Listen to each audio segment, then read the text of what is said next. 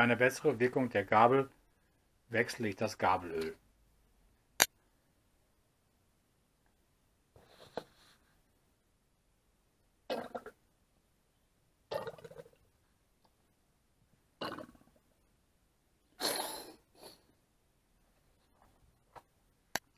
Da das Fahrwerk zu weich war, haben wir andere Stoßdämpfer montiert und hoffen, dass es jetzt besser wird.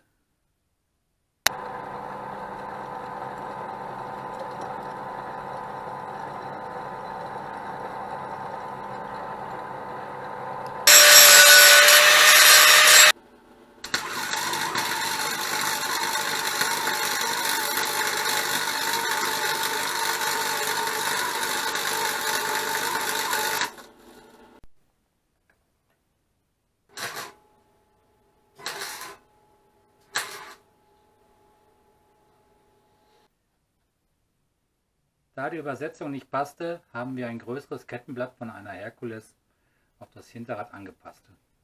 Hier haben wir jetzt 54 Zähne zur Verfügung. Des Weiteren haben wir eine Kettenführung angepasst und hergestellt. Die originale Kette ersetze ich durch eine stärkere Kette, die ich aber erst noch mit unserem Kettentrenner auf die passende Länge bringen muss um sie dann am Mofa zu montieren.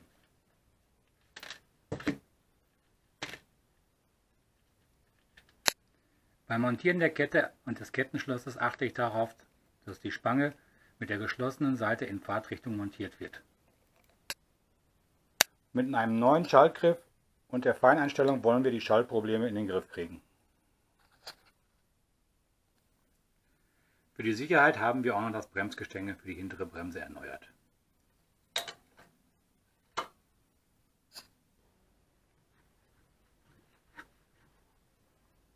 Diese speziellen Offroad-Pedalen schützen uns vor dem Abrutschen. Für das Mofa-Rennen fahre ich eine Mischung von 1 zu 50. Dazu gebe ich 100 ml Zweitaktöl in 5 Liter Benzin.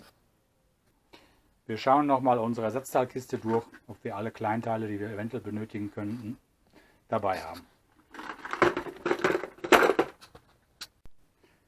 So, nun geht's los zum ersten Rennen, zum Testen.